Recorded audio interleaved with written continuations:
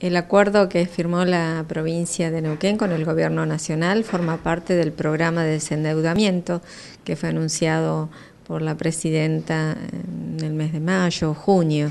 Finalmente Neuquén ha aceptado eh, sumarse a este programa donde ya habían adherido muchas provincias y la verdad que es una muy buena noticia para todos los neuquinos porque eh, vamos a estar entre el año 2010, eh, lo que termina, y el año 2011, dejando de pagar 400 millones de pesos, con también una deuda que se va a licuar en 20 años. Esto que era tan reclamado por todos los gobernadores, que era el ajuste del SER, se saca y la deuda se licúa completamente, o sea, lo que se ha hecho con las provincias es lo que eh, Nación hizo en su momento con el Fondo Monetario Internacional.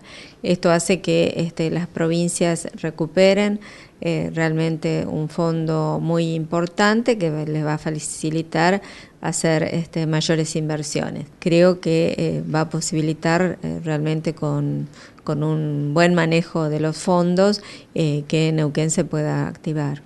Hoy también participamos eh, de un acto muy importante que tiene que ver con el federalismo, lo llamó eh, la presidenta del sector energético.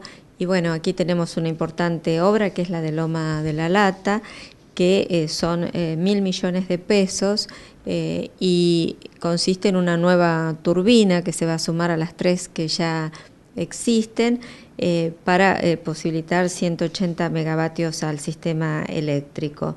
Con esta manera eh, se incrementa a 555 megavatios. Pero acá lo importante también es marcar que esto está enmarcado en el plan de energía plus que fue anunciado por la presidenta. Entonces decir, bueno, estos anuncios, cómo después van teniendo sus realizaciones en el tiempo y eh, favorecen, eh, digamos, a, toda la provincia eh, de Neuquén, también a la provincia de Mendoza y a la de Formosa.